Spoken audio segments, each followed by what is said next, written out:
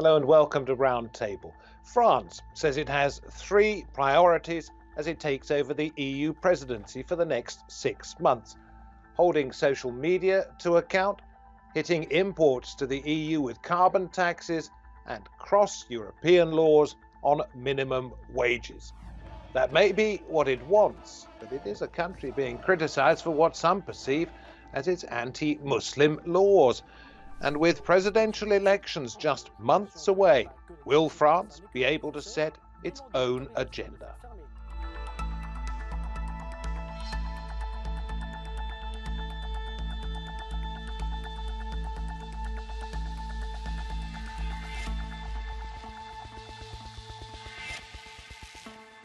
Very good to have your company. I'm David Foster. France has taken over the presidency of the European Union, but its ambitious plans for a sovereign Europe could be undone by the pandemic and elections in April. While there's been a pushback in Eastern European capitals, the French President Emmanuel Macron does have the powerful backing of his country's powerful neighbor, Germany. The new German Foreign Minister, Annalena Baerbock, said when she met her French opposite number that the two countries, quote, as the closest of friends at the heart of Europe, bear a special responsibility for a united European Union capable of acting and looking towards the future.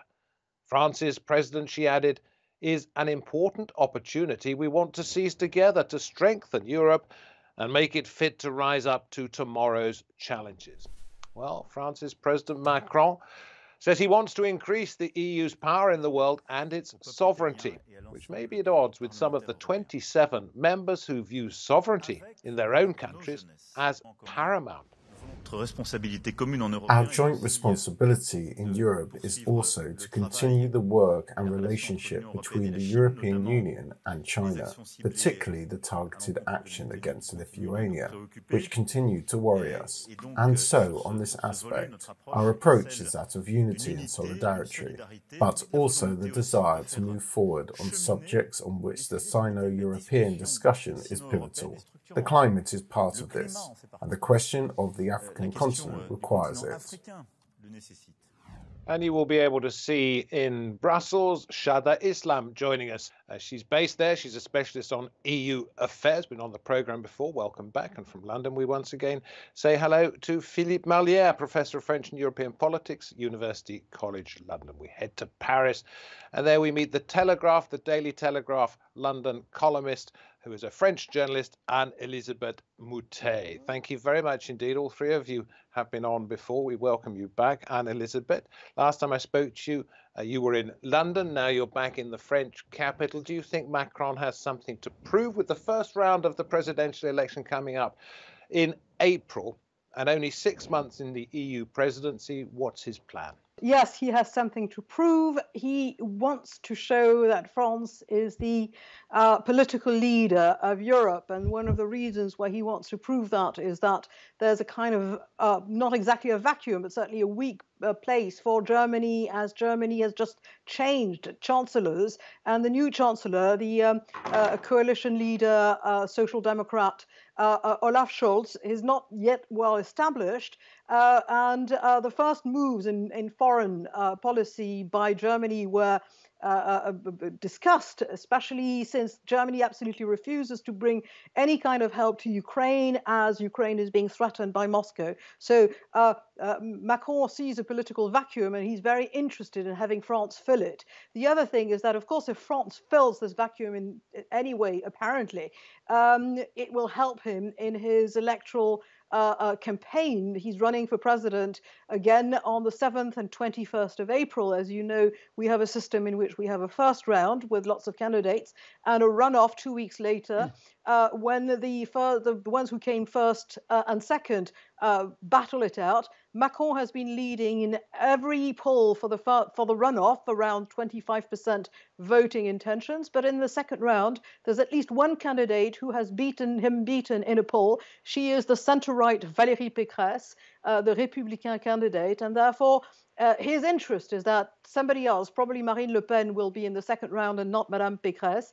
And all of this uh, sort of is, is brought together uh, with uh, to to make him want uh, um, uh, France to make a very good impression in foreign policy. Macron has got criticism in domestic policy, but he feels that looking decisive and, and authoritative on Europe will help him. Let's throw up a few words from Valérie Pécresse uh, from Les Républicains onto the screen. Uh, it's a mistake that's taking on the presidency. He's doing it for his own interests, not those of France. Uh, Philippe, is is that a, a general assumption that he's grandiose? He's trying to put himself center stage in terms of Europe, not necessarily for France or for Europe, but for Macron moi-même. That's what his opponents are saying at the moment, which is, of course, he'll be using the EU presidency in order to score political points in the run up to this uh, presidential election, where, of course, he hopes to run and be uh, re-elected.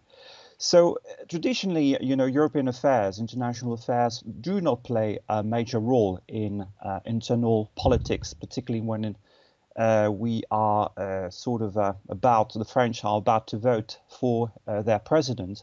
However, of course, if he can sort of make uh, sort of interesting noises and show that he's leading Europe on a number of issues, of course, that will probably uh, play very well with with the electorate. But again, I think uh, to get back to your initial question, I think what does he have to prove? I think he has to prove that he can be uh, re-elected, of course, and that he is as popular as he was uh, when he was elected uh, five years ago.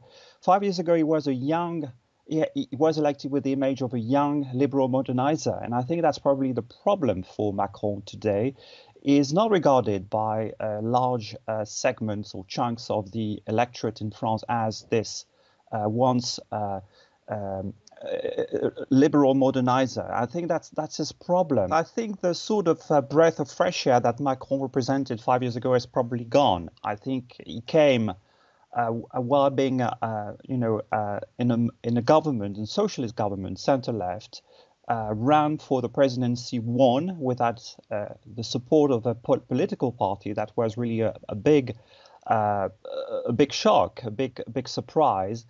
And then he was seen, yes, possibly as a kind, if you like, of a possible Justin Trudeau of French politics. And I think uh, he, that things haven't worked out this way. I think now he's been pushed to the right uh, and notably on a number of issues regarding, you know, public freedom, uh, the management of, of um, migration, uh, the, the, the, management of uh, uh, minorities in France, I think is regarded by its critics as very much having gone a long way to, to, to the right and, and sort of playing for a kind of a right wing or if not far right gallery. So I think that's the problem Which with Macron. Sort of He's lost me... a lot of support in the center if I may stop you there, Philippe, which leads me to to you, Shada. Over the course of the last five years, we've seen what many perceive to be anti-Islam legislation, what they would call um, extreme Islam laws and the separatism bill.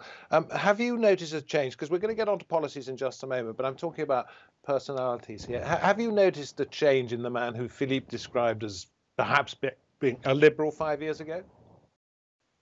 Yes, I have. I've noticed a change. I have to say that there's much in uh, Macron's uh, policies that I do admire. Uh, on the European scene, he is undoubtedly stands out for his uh, vision, his imagination, his creativity. He's talking about a strategic autonomy for Europe. He's talking about reinvigorating relations with Africa. And he's talking about giving the European Union more of clout on the global stage. He doesn't want to fall into this binary trap between the US and China. So, really, on foreign policy, many aspects of foreign policy, I think he is quite an inspiring figure. and, and that's why I feel very let down that on issues to do with minorities, especially with Muslims, not just in France, but you know the impact of French policies, because France is such an important locomotive in the European Union. The impact of French policies on Muslims, minorities, migration, refugees has uh, has contagion, has, infects the rest of Europe. And there, as Philippe has very rightly said, he's been drifting slowly, but I would say steadily towards the, the far right. And I know it's because of electoral reasons, but frankly, I'm very disappointed because I think leaders should lead and not follow. And I think, you know, if electorate in France is going to vote far right, they're going to go for the real deal and not Emmanuel Macron, who at his heart, I think, still remains uh, quite liberal. But, you know, it's electoral politics, it's toxic, and Islamophobia, as many have said, has become an electoral campaign strategy strategy in France. It's very, very disappointing. And I have to say, I'm frankly quite heartbroken over it. So, Anne Elizabeth, let me ask you about um, this image now of a, of a tougher, um, more uh, cynical, if, if you like, politician who is taking on the presidency of the European Council. Do you think some of that um, abrasiveness, perhaps when it comes to um, the Muslim population in Europe will come across to the more populist governments in Poland, in, in Hungary, and other places, uh, it, mostly in, in the Far East, uh, will come across as sort of some kind of encouragement first of all, I don't think they need encouragement, and um, I don't think uh, a country that has also sort of had uh, a much tougher attitude on such questions, like Britain, is taking any kind of inspiration from France at all. Uh, but I also think that these are domestic policies in France, and that there is the very specific quality of secularism, laïcité, which is part and parcel of the French Republic, which is not something that Macron would want to apply to any other country in Europe. So that's not something that he leads on. It is not at all in the very uh, broad platform that he's prepared. It's going to be a very busy uh, European Council presidency. Uh, it's going so, to. So, so that side on... of him you think is purely for the domestic audience, and you're leading into what he might want to do in Europe. Finish what you were saying. I'm sorry, I wanted to draw a line perhaps under uh, one section of the program. And then I'm going to ask you about this idea of sovereignty. Uh, sovereignty is, uh, Macron believes that uh, Europe should ex- exercise more sovereignty uh, in it's commonly and at the same time, because you know it was his campaign slogan, en même temps, at the same time. So he both says Europe has got to have strategic uh, importance, initiative, uh, uh, defend herself, have a strategic defense, um, exist in the diplomatic world, uh, exist as a bloc, and at the same time, whenever he feels that there's an opening for France in itself, in herself, to to push her own sovereignty, he's also for that. Uh, some of it is cynical because uh, he believes that whenever there's an opportunity, he should grab it. But some of it is actually the way the French have actually been seeing and using, if you will, Europe ever since the, the founding of it by uh, Adenauer, uh, Jean Monnet, Robert Schuman, and Alcide de Gasperi. Um, it's it's the French attitude is uh, um, we have our characteristics and we keep them, and at the same time we want to push Europe.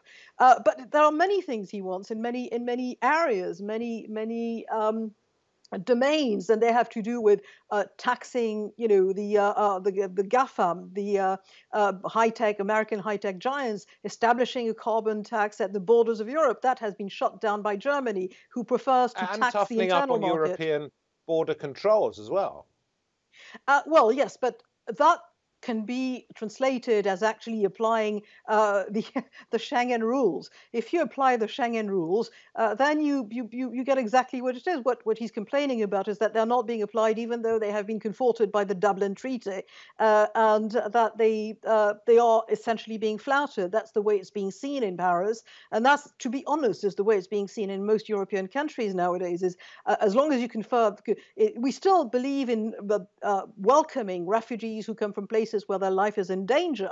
But there's a feeling, I think, across Europe that it is an impossibility to welcome economic migrants, mostly because uh, there are billions of them, literally, yeah. and, and Europe cannot welcome them and, and give both them and, and their own citizens a, a, a decent so, life. There has to be a, a pace to that.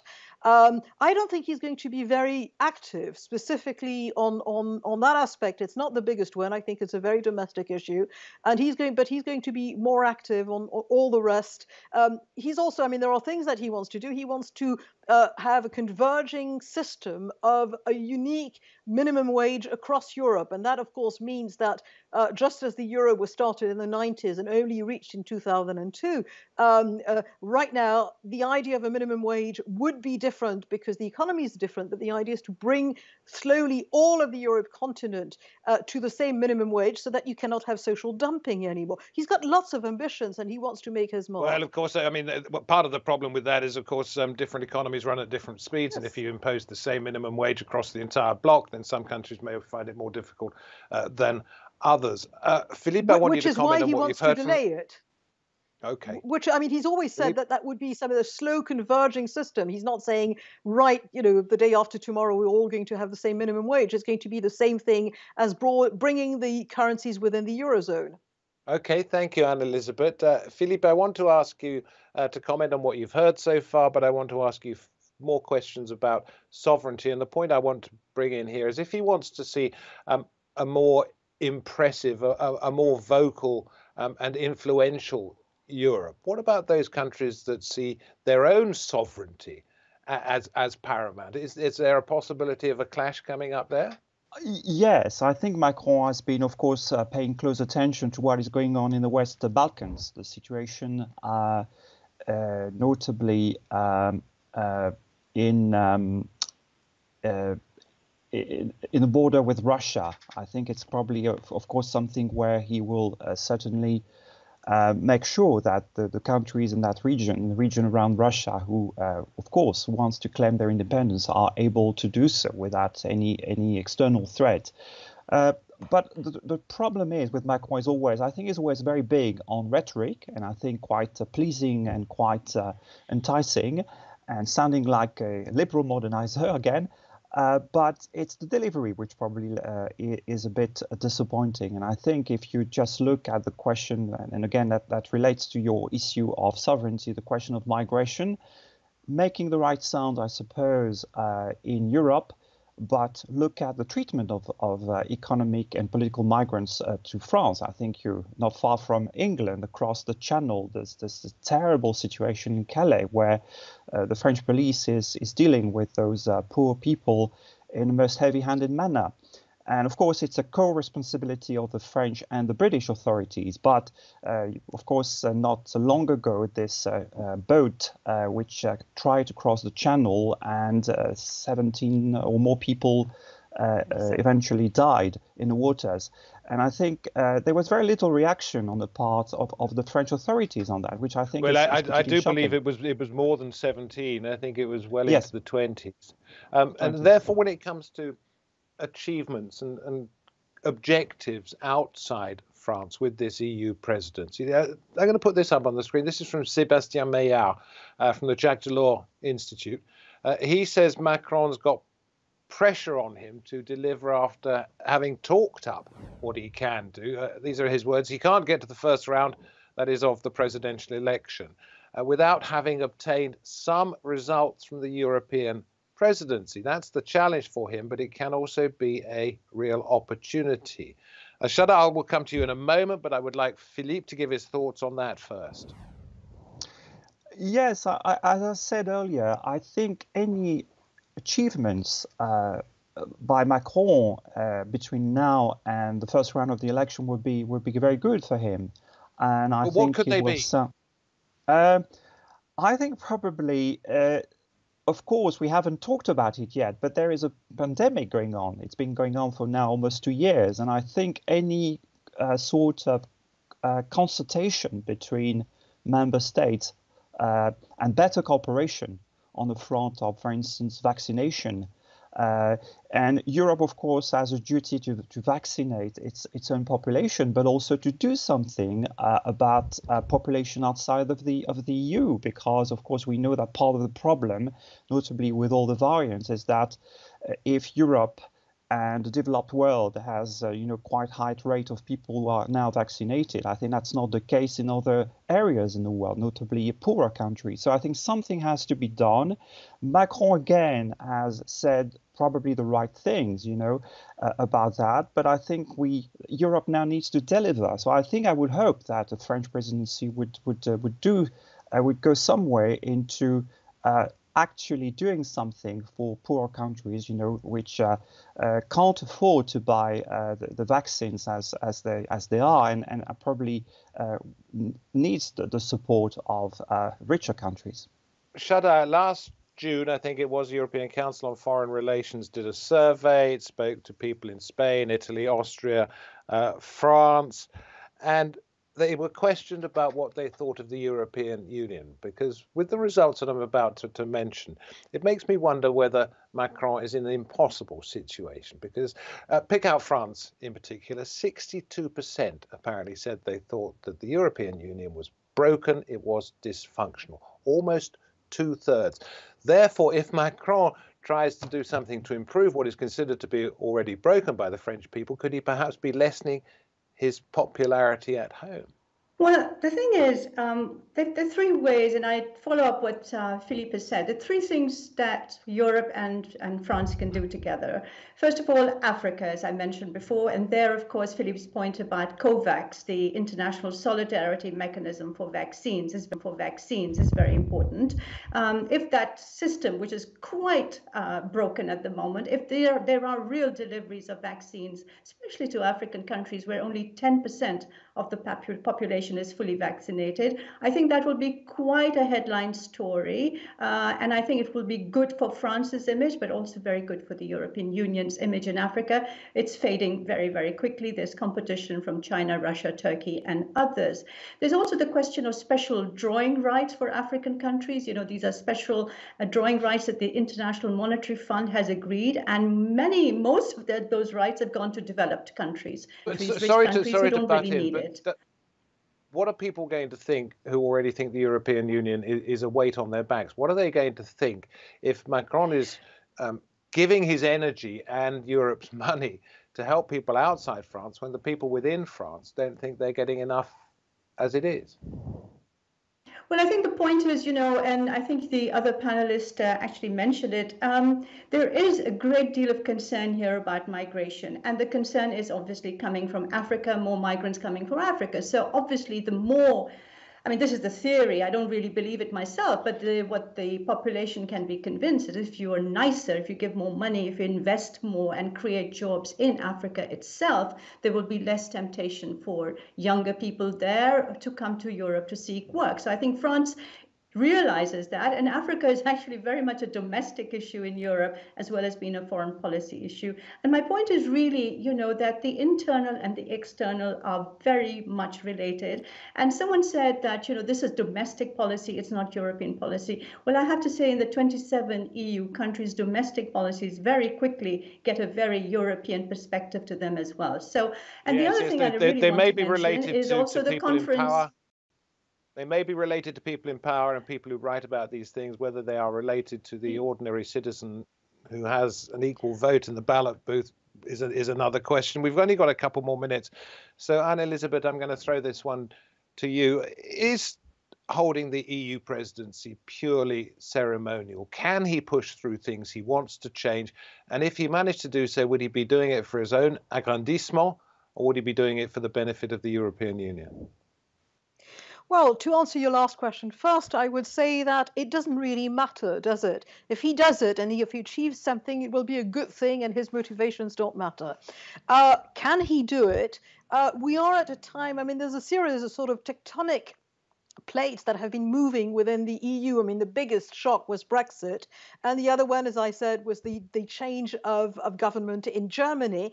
And finally, it's the fact that we're suddenly being faced by something uh, uh just uh, east of us, uh, which is which could degenerate into a real war, uh, which is the attack of, of Ukraine by, by Russia, which is which is a really big thing. So um, uh, I think that right now, any kind of achievement should, will be driven by all that. There might be more sort of uh, uh, uh open minds in Brussels to taking French advice uh, to some level, at least, just because there's this feeling of urgency. On the other hand, you can always uh, count sometimes on on the European institutions to snatch defeat from the jaws of victory, and they might just decide that Macron is too forthright, too aggressive, and and not make it work. And sometimes, most of the time, consensus is a good thing, and there are moments when you need to push things a bit.